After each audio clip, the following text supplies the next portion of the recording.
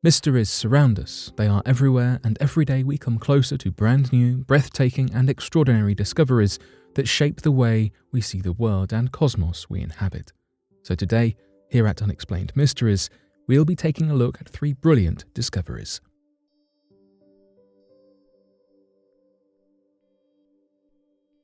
Mysterious lost city discovered in the Cambodian jungle.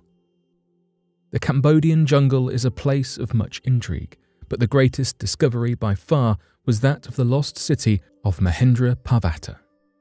Archaeologists utilized laser technology combined with ground surveys to find the lost city placed within the Phnom Kulen Mountains.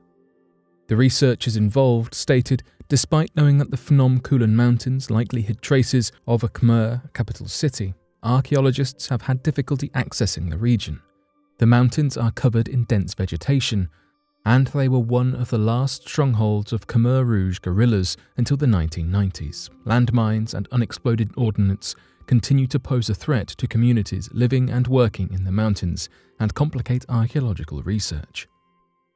The LIDAR laser was used for this expedition, which provides researchers with information detailing the distance to the Earth's surface and reveals areas overgrown by nature. LiDAR is an incredibly useful tool, also used for a myriad of other applications, including in vehicles, as it is what allows modern cars to have 360 degree cameras. The lost city of Mahendraparvata itself was established somewhere between the 8th and 9th century AD, and was a part of the long since gone Khmer Empire. However, most archaeologists fervently believe that the city of Mahendraparvata is older than the megacity Angkor also of the Khmer Empire.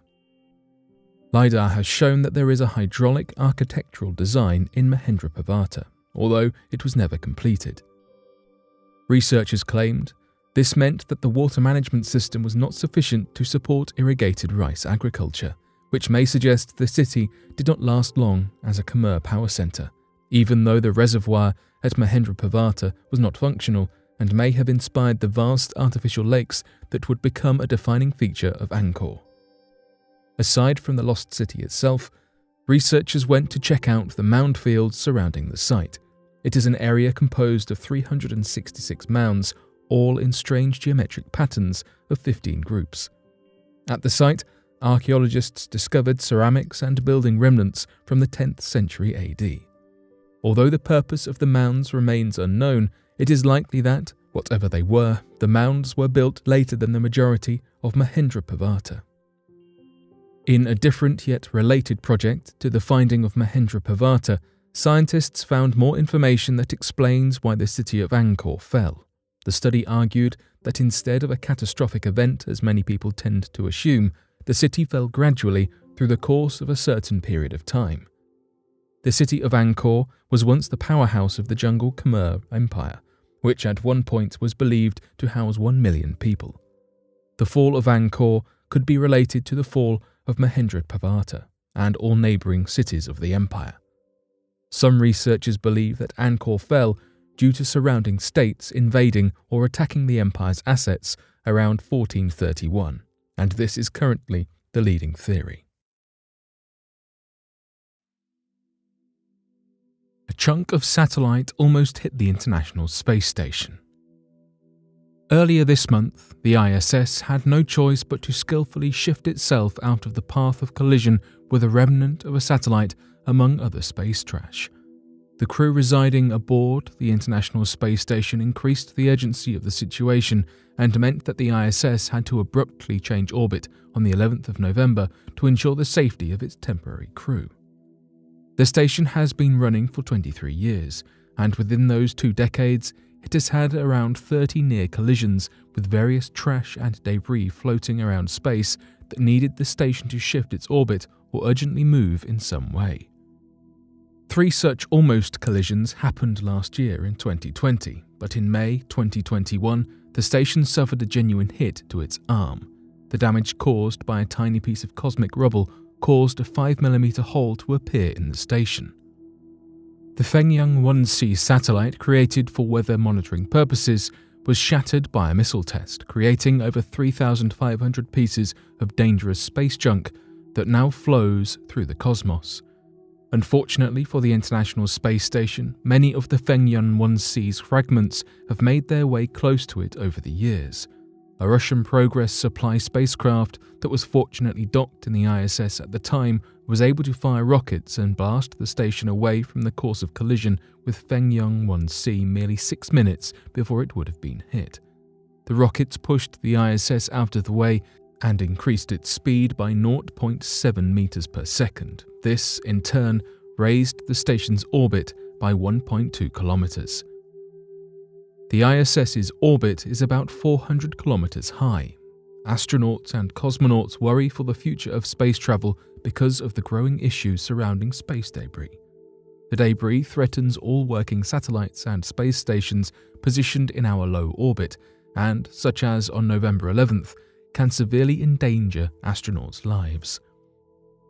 The International Space Station is particularly endangered, however, as it is the largest space station currently in space and orbits at a fast speed of 7.66 kilometers per second.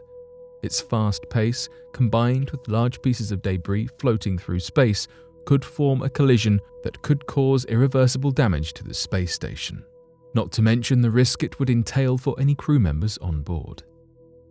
As more satellites are put out into the Earth's orbit, the more obstacles there are to look out for. As of today, there are nearly 5,000 satellites in use in our orbit. SpaceX claims it wants to reach a goal of sending 12,000 satellites into space, currently having 2,000 out in orbit. The company also states they'd like to put 40,000 satellites into orbit at some point in the future. It's estimated there are 330 million space junk objects between 1mm and 1cm large, and yet another million between 1cm and 10cm. At high speeds, such as the ISS's, even the smallest hit from a tiny debris object can cause harm to the station, likewise with all other working satellites. It is impossible to keep track of all the space junk, and currently impossible for us to get rid of it. Still, as the problem increases, Scientists are working to find a way to remove larger pieces from orbit. Mysterious kick just after the Big Bang may have created dark matter. Scientists believe that matter and antimatter should be balanced. They are counterparts, and as most materials that are opposites, they ought to cancel each other out on contact. All the universe's matter should have been destroyed as soon as it came into existence as a result of touching with antimatter. But, as we know, that's not the case, and there is a known imbalance in space when it comes to matter and antimatter. Scientists now theorize that when the universe was in its infancy, a kick was responsible for producing far more matter than antimatter. It's possible that this imbalance between them made dark matter. Dark matter has a pull on everything, yet it does not interact with anything, even light. All we know is it exists and makes up 80% of our cosmos, but how it works, how it came to be, and what it does is still a mystery. And yet, we also know that regular matter has nothing in common with dark matter, which is, as of now, outside our understanding of physics. It is believed that for a short while, antimatter and matter were balanced, but something caused that balance to shift and it filled the universe with matter. Scientists do not know when this happened, if it even did. It is now thought that perhaps the unbalance of matter and antimatter is connected to the birth of dark matter. It would make sense for these processes to be connected, but without proof, one can only speculate and study the situation. A study by ArXiv from 2020 alleges that space relies on a baryon number symmetry. Baryons are composed of quarks, protons, and neutrons, and it claims that all baryons must be equal in interaction with baryons possessing antiquarks. If this paper is accepted by peers, it will suggest that symmetry is an aspect of almost all things in space, yet it suggests that in the early cosmos, the kick specifically pushed antimatter and matter out of proportion. In physics, if symmetry is shattered, it creates what is called a Goldstone boson. So, if the theory is correct, it adds evidence to the idea that dark matter is a product of the baryon number of matters breaking. The balance between dark matter and matter then suggests they are indeed related. But this theorized model of understanding dark matter does not help with the split between dark and normal matter 80% dark matter and 20% matter. They are in rough balance, and it's thought that it's because they share their origins. This unknown origin or kick is yet to be theorized, and for now is being held as a placeholder.